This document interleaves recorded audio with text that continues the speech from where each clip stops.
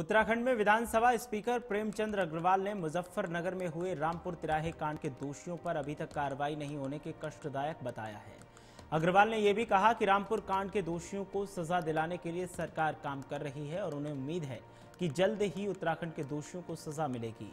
लेकिन अब सवाल इस बात का है कि आखिर 23 साल बीत जाने के बाद भी रामपुर तिराहा कांड के आरोपियों के खिलाफ क्यों नहीं हुई है कार्रवाई?